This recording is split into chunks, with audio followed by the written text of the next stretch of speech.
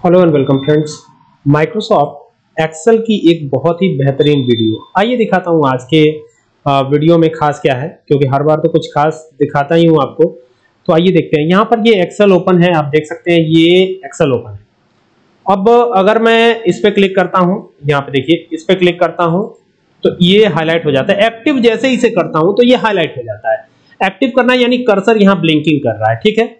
अगर यहाँ पर क्लिक करता हूँ तो ये हाईलाइट हो जाता है, ये एक्टिव हो जाता है, ठीक है? अगर इस पर क्लिक करता हूँ तो ये, जो भी एक्टिव सेल है, वो हाईलाइट हो जा रहा है। देखिए, यहाँ पर गए एक्टिव किया तो ये हाईलाइट हो गया, ठीक है? इस पर क्लिक किया, ये हाईलाइट हो गया, इस पर क्लिक किया, ये हाईलाइट हो गया।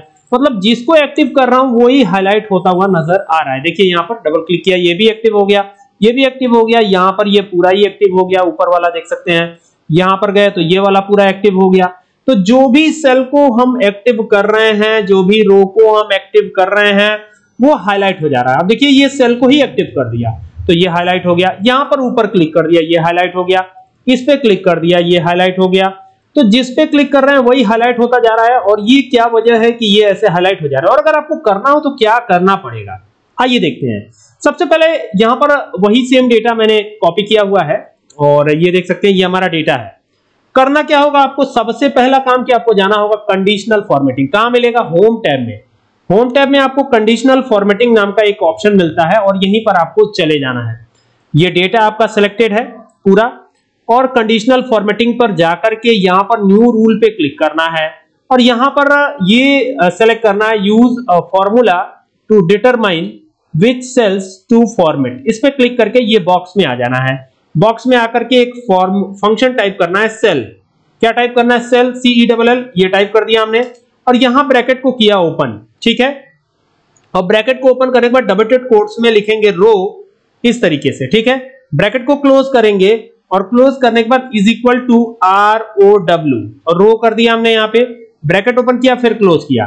तो ये आपको टाइप कर देना है इसमें और टाइप करने के बाद यहाँ पर फॉर्मेट पे जाना है। हम चाहते हैं कि ये येलो कलर में हाईलाइट हो जाए। तो यहाँ पे येलो कलर चूज़ कर लिया ओके कर दिया। और ओके करने के बाद यहाँ से ओके कर दिया। तो ये ऊपर वाला येलो कलर में हो गया, लेकिन ये क्या, यहाँ पर क्लिक कर रहा हूँ तो ये तो हाईलाइट ही नहीं हो रहा है। यहाँ पर ये इस पे क्लिक कर दिया तो ये हाईलाइट हो गया। आप देखिए, इस पे क्लिक कर दिया, ये हाईलाइट हो गया। इस पे क्लिक कर दिया, ये हाईलाइट हो गया। जिस पे भी आप क्लिक करेंगे ना, वो एक्टिव सेल या एक्टिव रो हाईलाइट हो जाएगी। जैसे एक्टिव इसी को अगर मैं कर दूँ तो यही हाईलाइट हो जाएगा। देख रहे हैं? यहाँ पे क्लिक कर दिया, ये हाईलाइट हो गया। तो ये बड़ा आसान है इजी वे में आप कर लेंगे। उम्मीद करता हूँ कि बात समझ में आई होगी कि आपको कैसे ये करना है। ठीक है?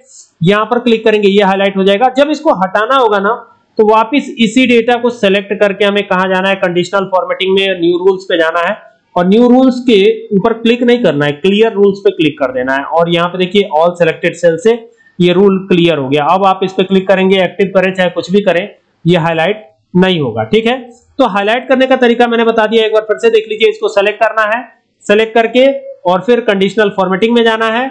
और यहाँ पर आपको न्यू रूल पे जाकर के एक जो यहाँ पर ऑप्शन है use a formula to determine which cells to format इस पे क्लिक करके।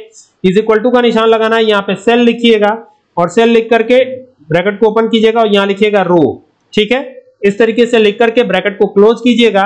Is equal to R O W row लिखा हमने, ब्रैकेट ओपन किया और क्लोज किया। क्लोज करने के बाद क्या करना है? यहाँ से जाके फॉर्मेट पे क्लिक करना है और फॉर्मेट पे क्लिक करके इसको जिस भी चीज़ कलर से हाईलाइट करना चाहते हो कभी कभी क्या होता है बॉर्डर ही लगा देना चाहते हैं। तो यहाँ पे बॉर्डर भी आप दे सकते हैं, ठीक है?